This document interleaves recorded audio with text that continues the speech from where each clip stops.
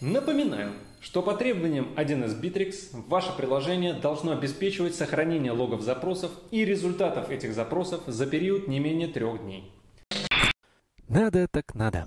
Давайте допишем в наш пример возможность логирования по требованиям Bittrex24. Для этого создадим файл log.php, в котором опишем класс C bit24log. Думаю, нет никакой нужды описывать его реализацию в подробностях, поскольку вам наверняка приходилось писать что-то подобное много раз. Подчеркну лишь один нюанс.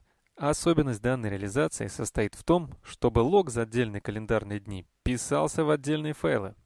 Именно этим занимается код, который формирует значение переменной strlog. Каждый новый день — новый лог.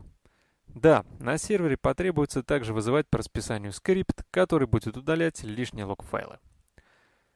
Теперь, собственно, о логировании вызовов к Bittrex24.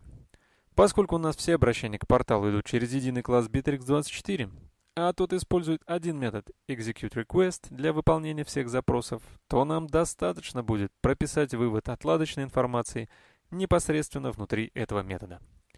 Добавим C bit24log add который выведет URL запроса, передаваемые параметры, непосредственный ответ от Bittrex24 и так далее.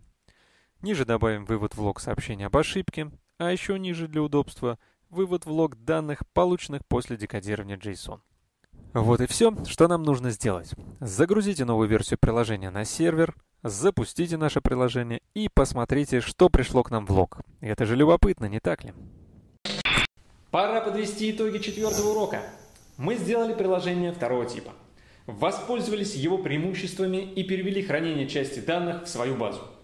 Подготовили библиотеку классов для использования методов REST API на PHP.